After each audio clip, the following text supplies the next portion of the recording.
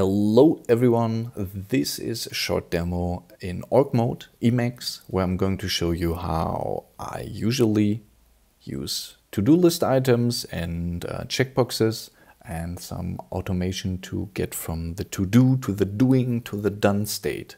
And this is just a regular org mode heading with a subheading where I've just, uh, well, came up with some, some fake to-do item to show to you. And these are checkboxes, and you can just type them as I do, and then, uh, well, they are highlighted by org. So far, so trivial. That's just the plain uh, org stuff. And here are the cookies, and the cookies are um, statistics in the uh, to-do heading line, like um, zero out of three items are completed at the moment. And this is just a cookie placeholder. I'm going to show you how to make this automatically work and to uh, update the statistics as you complete checklist items and what this does to the heading. To make this a bit simpler, I'm going to uh, enable command log mode. Um, it's a bit buggy, um, but here it, it works uh, for change to show you the shortcuts and commands that I toggle, which is nice for screencasting, I think.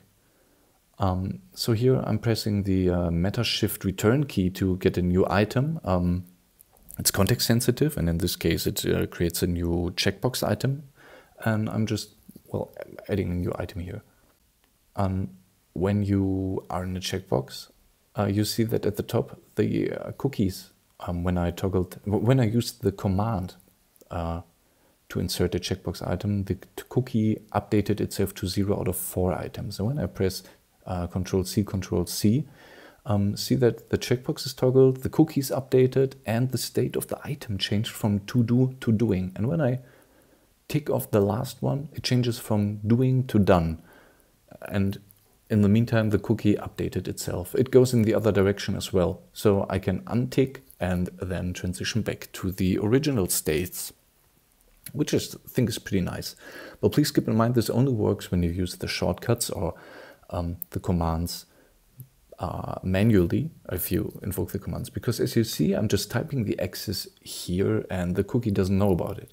You can update the cookie itself though to reflect the current state by going um, in there and then hitting Control C, Control C to, well, update the cookie.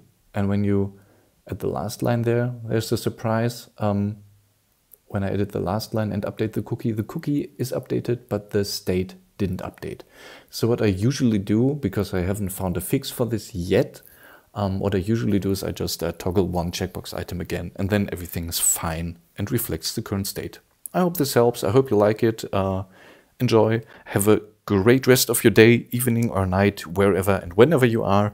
And please uh, leave a comment on my website if you have any suggestions. Thanks.